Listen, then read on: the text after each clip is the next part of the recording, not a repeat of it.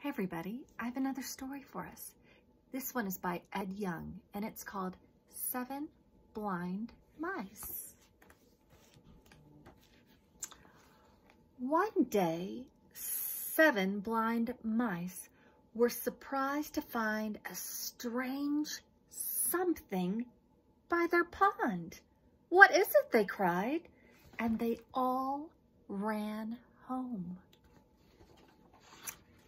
on Monday, Red Mouse was the first to find out.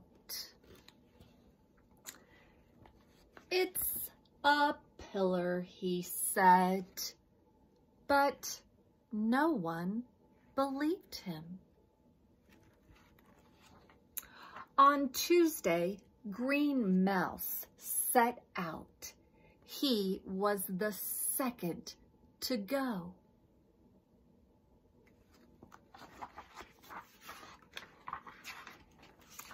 It is a snake, he said. No, said Yellow Mouse on Wednesday.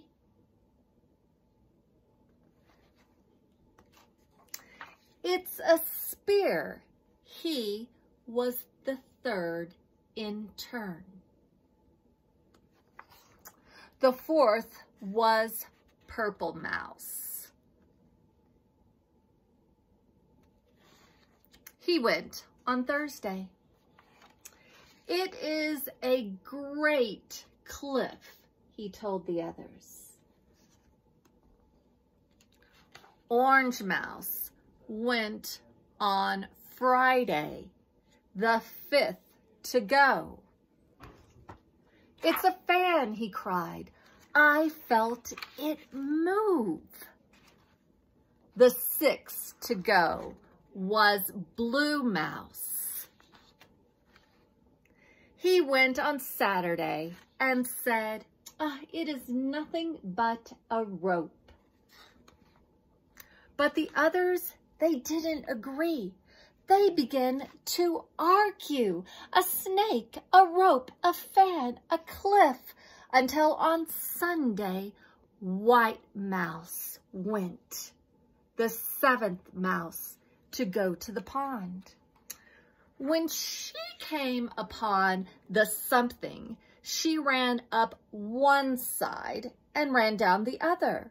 She ran across the top from one end to the next. Ah, said Ma White Mouse. Now I see. The something is as sturdy as a pillar, supple as a snake, wide as a cliff, sharp as a spear, breezy as a fan, stringy as a rope, but altogether that something is An elephant! And when the other mice ran up one side and down the other and across the something from end to end, they agreed. Now they saw too. The mouse moral.